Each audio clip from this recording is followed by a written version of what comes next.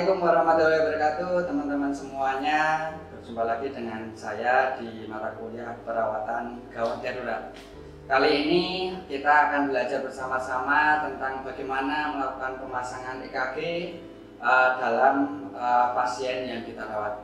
Biasanya seseorang yang kena gagal jantung ataupun kena penyakit jantung dan sebagainya Ini uh, dilakukan pemeriksaan EKG Mari kita simak bagaimana kita melakukan uh, pemasangan atau rekam jantung dengan menggunakan EKG. Oke teman-teman semuanya kita akan belajar bersama tentang pemasangan EKG. Uh, pemasangan EKG ini rekam jantung ini untuk mengetahui uh, keadaan pada pasien itu bagaimana. Jadi uh, ketika EKG-nya normal, PGR-ST-nya ini akan kelihatan dengan baik. Nah, teman-teman sebelum melakukan, saya jelaskan dulu untuk melakukan uh, pemasangan EKG ini, pastikan pada alat yang sudah disediakan ini uh, teman-teman uh, semuanya uh, bisa digunakan, uh, bisa keluar dari rekamannya. Terus ada juga teman-teman uh, di sini dalam pemasangan EKG ada beberapa elektroda yang harus Eh, teman-teman uh, pahami juga ya. Jadi uh, di sini ada banyak sekali uh, elektroda yang harus uh, dipasang di tubuh ataupun juga di ekstremitas uh, pasien. Yang pertama teman-teman di sini ada warnanya uh, tiga yang hampir sama itu adalah 6 yang pertama ini adalah merah. Merah ini kalau kita lihat di sini ada kode C1 ataupun kita pasang di V1 ya. Terus setelah itu ada merah kuning itu ada C2 dan juga hijau itu uh, C3 atau V1, V2, V3. Yang selanjutnya itu ada juga tiga uh, berikutnya yang teman-teman semuanya juga harus uh, pahami bahwa ini ada uh, kode di sini. Ada namanya C sini ada C4 warnanya itu adalah coklat. Terus ada C5 ini warnanya hitam. Itu sama juga dengan V5 dan yang terakhir adalah uh, yang warnanya ungu ini C6 atau V6 ini yang dilakukan pemasangan pada dada. Sedangkan di ekstremitas teman-teman semuanya, ini ada empat ekstremitas yang harus dipasang. Uh, ini namanya kodenya uh, R1. R1 itu R berarti ada di tangan sebelah rek itu ta uh, kanan, ya. Kan tangan kanan, terus tangan kiri Terus yang ini adalah kaki sebelah kiri dan yang hitam itu adalah kaki sebelah kanan. Itu pemasangan uh, elektrodanya. Sebelum dilakukan pemasangan, teman-teman semuanya harus elektrodanya itu dibersihkan dulu dan juga diberikan gel. Mungkin itu uh, sebagai pengantar kita pahami dulu elektrodanya dipasang di mana. Oke teman-teman, setelah uh, persiapan alat kita lakukan uh, ke pasien. Kita identifikasi pasien seperti apa keadaan seperti apa kita akan melakukan. Assalamualaikum Bapak Yanto. Ya. Saya Margono dari Vikas UNM hari ini Bapak untuk pemeriksaan lanjutan pada jantung. Bapak akan kami lakukan rekam jantung Tujuannya untuk mengetahui bagaimana kondisi jantung pada Bapak. Waktunya mungkin 5-10 menit uh, kita akan melakukan perekaman jantung. Nanti kita akan memasangkan uh, alat uh, yang ada EKG ini ke tubuh Bapak di dada dan di tangan dan kaki. Mungkin ada yang ditanyakan? Ya, kalau tidak ada kita lakukan sekarang nih Bapak ya kita buka uh, bajunya karena nanti akan dipasangkan di uh, dada. Pastikan di area dada sini sudah uh, nyaman. Uh, mungkin untuk lebih nyamannya bisa untuk apa agak diturunkan atau senyaman mungkin pada pasien itu seperti apa. Terus tahap selanjutnya kita harus lakukan pembersihan uh, pada area ini uh, dada jadi uh, nah, tadi elektrodanya ada enam yang ada di dada.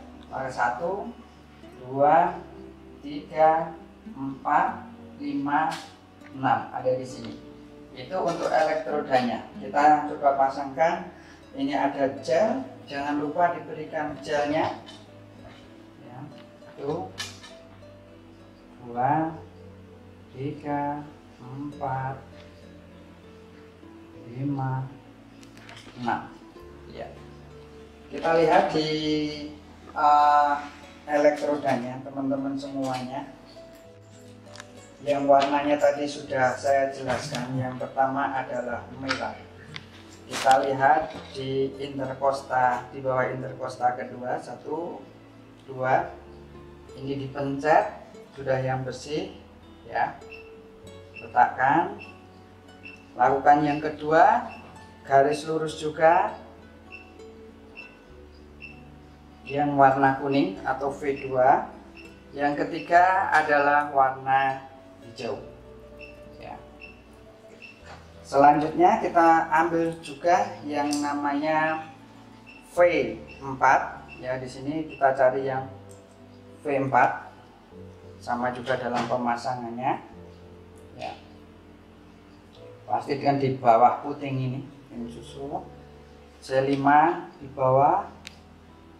Terus yang terakhir C6 itu ada di samping. Ya. Nah. jadi pemasangan V1 V2 V3 V4 V5 V6 sedangkan yang selanjutnya teman-teman di ekstremitas teman-teman kita lihat di ekstremitas baik uh, tangan ataupun kaki sama juga diberikan gel ya diberikan gel agar nanti uh, hasilnya juga uh, maksimal ya. kita ambil yang elektroda yang warnanya merah atau tadi dilihat ada warna apa R ya. Kita lihat di sini. Pastikan. Terus warna kuning ya.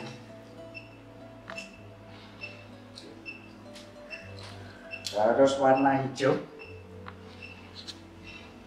Dan yang terakhir adalah warna hitam ya. warna hitam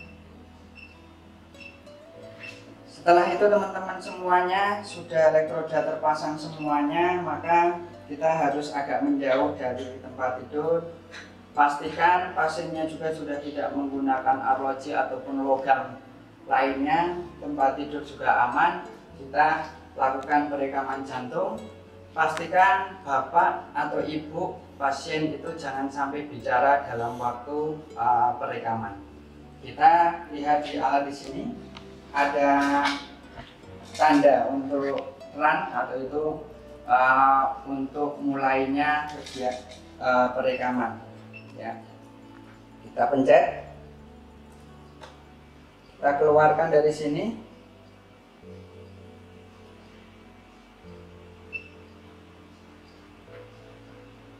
Ya.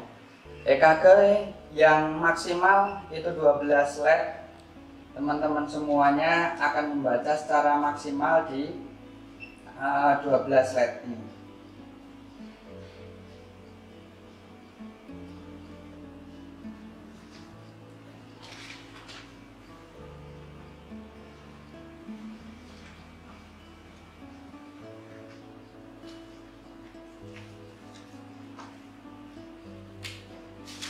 Ya, setelah ini kita ambil kita lihat dari EKG 12 LED sepanjang ini teman-teman semuanya.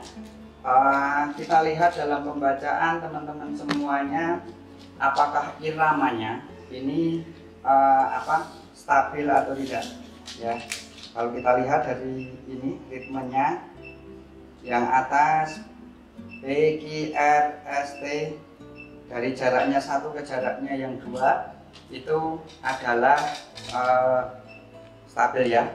Iramanya stabil. Berarti ritme ritmenya baik. Nah ketika kita lihat selanjutnya juga ada P, Q, R, S, T.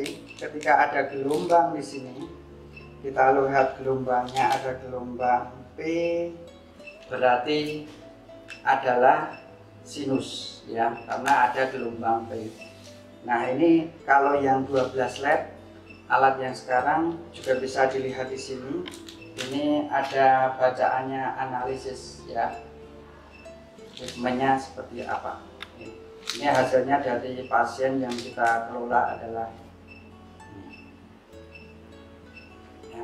nanti teman-teman semuanya dalam pembacaan ini membutuhkan waktu sehingga dalam pemahamannya nanti kita uh, di sesi selanjutnya. Mungkin itu setelah kita dapatkan hasil bacaan ini teman-teman uh, semuanya harus melepas uh, elektroda yang ada di pasien. Kita lepas kita bersihkan. Ya mulai dari yang ekstremitas.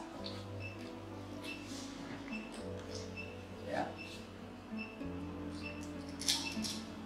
Ya. Kita lepas. Kita juga melepasnya juga kita pencet kembali lepas lepas semuanya